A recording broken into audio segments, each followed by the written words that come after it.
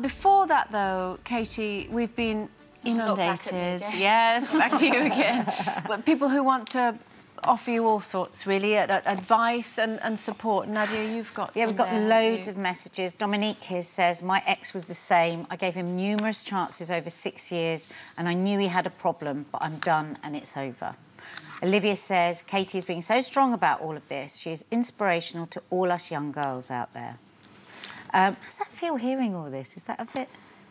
It does, but I'm still in shock myself. I know. so I'm, I was it's just thinking. I bet each time you're talking about, each time you're hearing, it must like, it must like the pennies dropping. It's like you want to hear someone who's had a parallel story, Yeah. what the outcome. Yeah.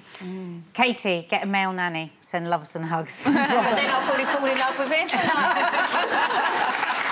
Jane says, and this is what we were talking about in the break, Practical name, yeah. Best Jane. to stay single. Yeah. Maybe for a bit. You don't need a man. You have worked for all you have, and you have a beautiful family. Karen says Katie needs to forget about men for now. Do it by yourself. Do you think you'll? Do you think you- you will do that for now? You will. Um, I've never been single, if so... you and Kieran do break Yeah, up, yeah. will you stay single or?